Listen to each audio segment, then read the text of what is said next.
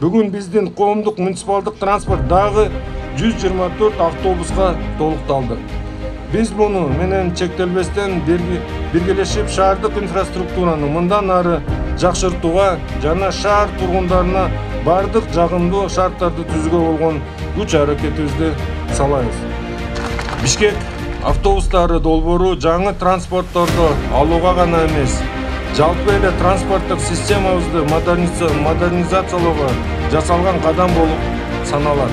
Япония өкмөтүнө жана европалык реконструкциялоо жана өнүктүрүү банкына маанилүү долбоорду ишке ашыруудагы колдоосу үчүн терең ыраазычылык билдиребиз.